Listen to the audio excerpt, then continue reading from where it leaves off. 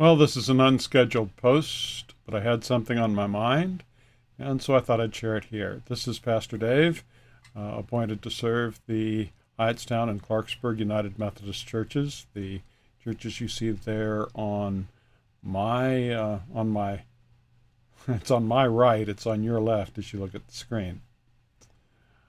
I offered a comment on my Facebook page today concerning the use of single use plastics. And I made the observation one of the things about being an adult is that you learn to accept immediate inconveniences in order to avoid long term disasters, and indeed to build something desirable later. You learn to do the right things now so that you don't reap the whirlwind later. And who knows? As you do so, you might even be a blessing to others.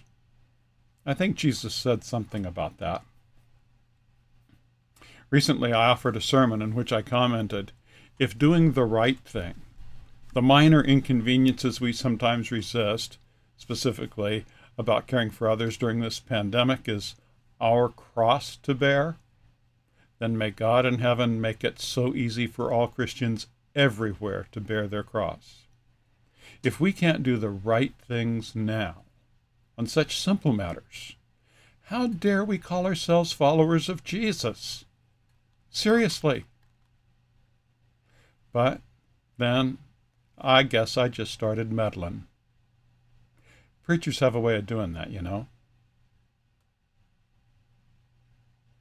May grace and peace be yours in abundance, this day and always.